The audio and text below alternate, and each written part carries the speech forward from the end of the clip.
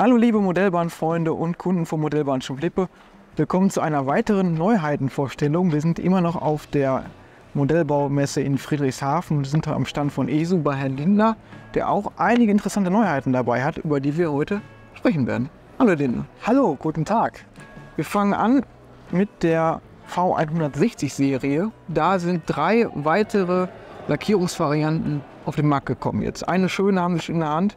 Was können Sie uns heute zeigen? Genau, wir haben unsere äh, erfolgreiche V160-Familie um drei weitere Mitglieder ergänzt. Die V160 ist ja fast schon eine Kultlok mittlerweile ähm, und auch unser erstes ESO-Modell. Und wir dürfen jetzt heute auf der Messe ähm, erstmalig drei Neuheiten vorstellen, die wir eben dazu ähm, gebraucht haben.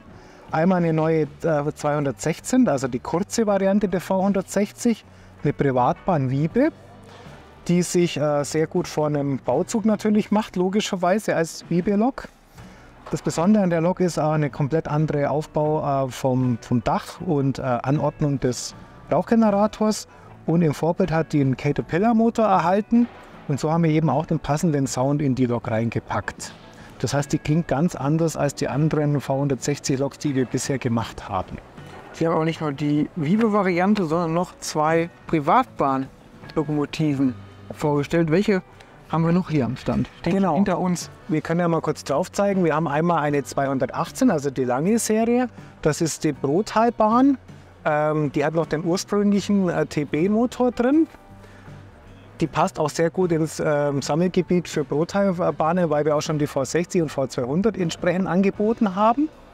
Und was wir auch noch gemacht haben, ist die Pressnitztalbahn, die blaue, die auch bundesweit heute im Einsatz ist. Die hat natürlich auch eine etwas andere Anordnung des Dachs und ähm, der Assembly und als Besonderheit einen MTU R4000 Motor. Also auch die klingt nochmal ganz anders als die anderen 218er. Wunderbar, dann haben wir in jeder Lok ein spezifisches Soundprojekt und alles ist aufeinander abgestimmt. Und ich nehme auch an, die ES-Lokomotiven haben wie immer reichlich Funktionen an Bord, über die sich die Kunden freuen können. Genau, also alle ähm, V160-Loks haben natürlich, ähm, erstens sind sie komplett aus Metall, dann sind sie AC und DC fähig, das heißt äh, durch Abziehen des Schleifers äh, unten kann man dann die Lok auf 2 Leiter oder auch auf 3 Leiter fahren. Sie hat einen äh, Loxan 5 Decoder drin, der natürlich alle Protokolle fährt und damit auf jede Zentrale einsatzfähig ist. Und ähm, klar, das komplette äh, Lichtpaket, Powerpack, Kurvensensor, Bremslichtflackern, Rauchgenerator. Ähm, Vollausstattung. Vollausstattung, wie Sie es von uns gewöhnt sind. Wunderbar, so wollen wir das haben. Jetzt kommen wir zur nächsten Neuheit, eine Formneuheit. Ich würde sagen, die Lokomotive gehört auf Schweizer Modellbahnanlagen wie die Löcher in den Schweizer Käse. Es ist eine AE66. Genau, eine Kultlok, eine Gotthard-Lok.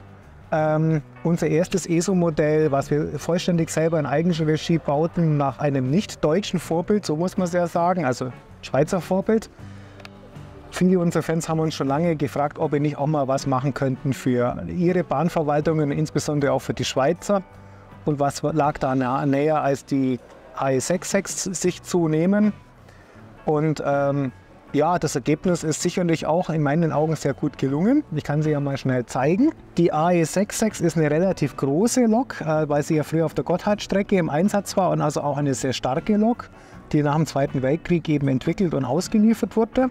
Sie hat eine sehr lange Einsatzzeit von den 50ern bis in die 90er äh, Jahre oder in die 2000er Jahre ist sie noch als SBB Cargo eben in Betrieb gewesen.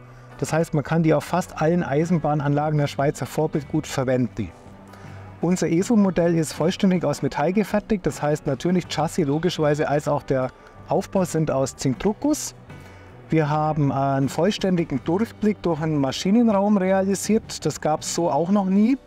Das gelang uns deswegen, weil wir einen relativ kleinen Glockenankermotor mit 12 x 20 mm eben verwenden, der ziemlich tief sitzt, sodass wir den kompletten Durchblick ermöglichen konnten. Und wir haben natürlich den Innenraum auch entsprechend eingerichtet, damit man auch was sieht. Wahrscheinlich auch mit Beleuchtung bestückt, damit man wunderbar reingucken kann. Ganz genau. Natürlich haben wir auch entsprechend eine Führer, ähm, also eine Maschinenraumbeleuchtung, damit man die Details auch sehen kann. Vom ähm, Technikpaket her ist erstmal die komplette Beleuchtung zu erwähnen mit dem Schweizer Lichtwechsel, also drei weiße plus ein weißes, aber auch drei weiße von zwei rote hinten oder drei weiße von ein rotes hinten. Wir haben äh, das Fahrberechtigungssignal, was es so nur in der Schweiz gibt, meines Wissens. Also zwei weiße und ein rotes und ein Notsignal, drei rot, kann man auch zeigen. Was natürlich Standard ist bei jeder ESO E-Log ist ein Pantograph, der heb, äh, servogesteuert heb- und senkbar ist. Äh, und zwar beide getrennt natürlich voneinander. Auch das ist uns eigentlich so gelungen, dass wir das komplett verstecken im nicht sichtbaren Bereich. Wir haben trotzdem auch einen komplett eingerichteten Führerstand mit Führerpult und Führerstandbeleuchtung. Wir haben unser Bremslichtflackern LED wieder mit drin. Wir haben auch einen ähm, Kurvensensor mit verbaut und natürlich einen Powerpack, also einen Energiespeicher für Dreckstellen. Und auch die Lok hat natürlich einen Doppellautsprecher mit Logsound 5 Decoder und diesen Steckschleifer, sodass die Lok für AC, also Dreileiter- und Zweileitergleise einsetzbar ist. Und diese Lok gibt es auch in zwei Ausführungen bzw. zwei Epochen. Jetzt haben wir das modernere Modell hier vor uns. Welche Lokomotive kommt noch? Also genau, zunächst kommt erstmal die Epoche 5, so wie sie zuletzt eben auf den Bahnen rumfuhr. Und dann gibt es eben auch noch eine Epoche 4 Variante, eine sogenannte äh, Städtelok, in dem Fall die Lausanne. Die sind grün mit relativ wenig Chrom, auch in den äh, entsprechenden Epoche relativ lange zum Einsatz gekommen. Mit diesen beiden Varianten fangen wir jetzt mal an. Die werden ab Mitte November auch schon ausgeliefert. Also sehr zeitnah, wie Sie es von uns auch gewohnt sind.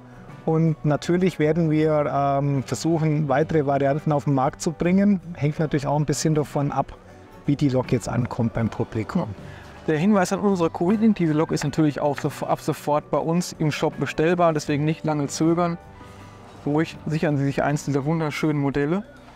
Dann danke ich Ihnen für das kurze und knackige Interview. Wie immer wünsche ich noch gute Geschäfte und viel Spaß auf der Messe. Vielen Dank und auch vielen Dank fürs Zusehen.